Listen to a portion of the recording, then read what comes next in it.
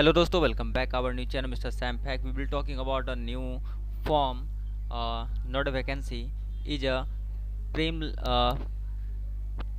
prelims eligibility test तो आप सभी को मालूम है कि यूपी में इसके पहले भी फ़र्स्ट uh, टाइम में UP triple S C P T का दो uh, निकला गया था।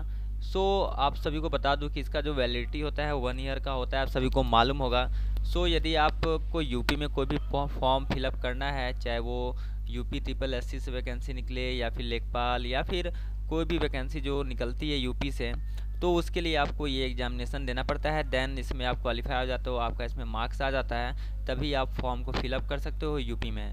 सो so, यहाँ पे फिर से आप सभी का UP triple S C P T online form निकल चुका है। सो so, यहाँ पे आप लोग देख सकते हो 28 तारीख से फॉर्म चालू हो चुका है फॉर्म फिलअप होना 28 जून से।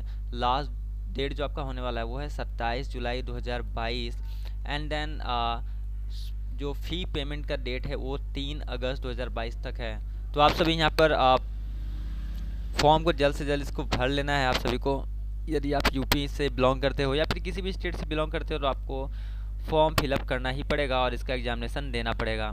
तो सबसे पहले तो यहाँ पे ऑनलाइन आवेदन होगा। U P triple S C dot G O V dot in पर जाना है एंड वहाँ पे पी ई टी का ऑप्शन दिया होगा देन वहाँ से आपको अप्लाई कर देना है।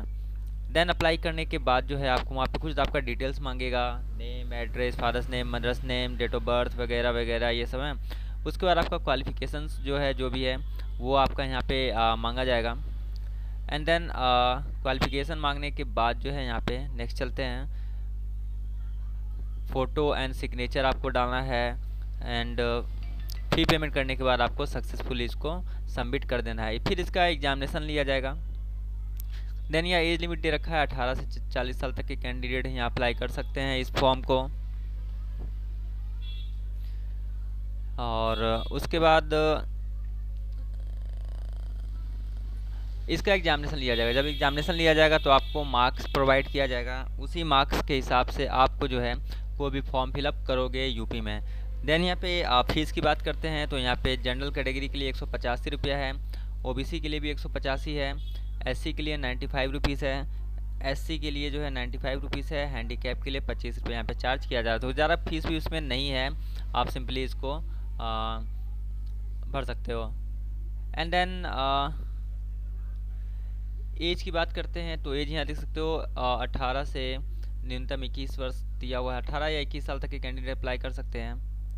एंड मैक्सिमम यहाँ पे फोर्टी इयर्स तक के कैंडिडेट भी अप्लाई कर सकते हैं। यदि आ, जो थर्टी फाइव ईयर्स तक की जो वैकेंसी निकलती है यूपी ट्रिपल एस सी में उसके लिए। सो so, ये हो गया। एंड यहाँ पे लिखित परीक्षा है। क्या क्या पूछेगा? स्कोर की वैधता जो है आपका दिया हुआ है। ओनली वन ईयर्स तक का आपका जो है ये वैलिड है। जो भी आप एग्जामिनेशन दोगे एक साल तक के लिए वैलिड रहेगा। फिर आपको अगले साल फिर से एग्जामिनेशन इसका देना पड़ेगा। मतलब देना क्या? फॉर्म फिलअप होगा। फॉर्म फिलअप के बाद जो है आप यहाँ पे फॉर्म फिलअप कर सकते हो वन ईयर्स के बाद। एंड और तो इसमें कुछ इम्पोर्टेंट उतना है नहीं, बस सिंपली आपको ये फॉर्म फिलअप करना है।